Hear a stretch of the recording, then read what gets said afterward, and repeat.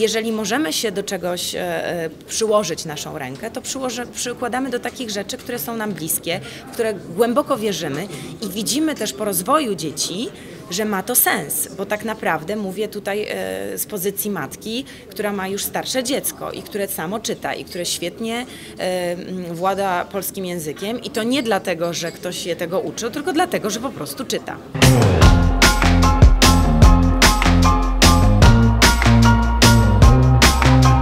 Tomek w Krainie Kangurów czy, czy, czy, czy, czy Na tropach Yeti, no to są książki, które właściwie zbudowały moją ciekawość świata. To, bo to jest bardzo istotne, istotne, że w przeciwieństwie do tych mediów multimedialnych, e, tych współczesnych, które pewne rzeczy dają nam na tacy, no, to jednak powoduje, że ta wyobraźnia nie jest zmuszona do takiej pracy i, i też tej ciekawości świata, o którym czytamy, nie masz tak wielkiej, no bo on został nam pokazany.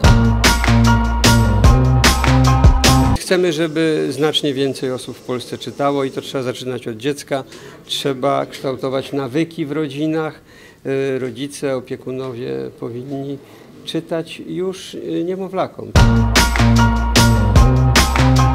Wydaliśmy 360 tysięcy książek dla tych nowonarodzonych dzieci, e, które będą rozdawane, już są rozdawane, ale będą rozdawane e, do połowy prawie e, przyszłego roku.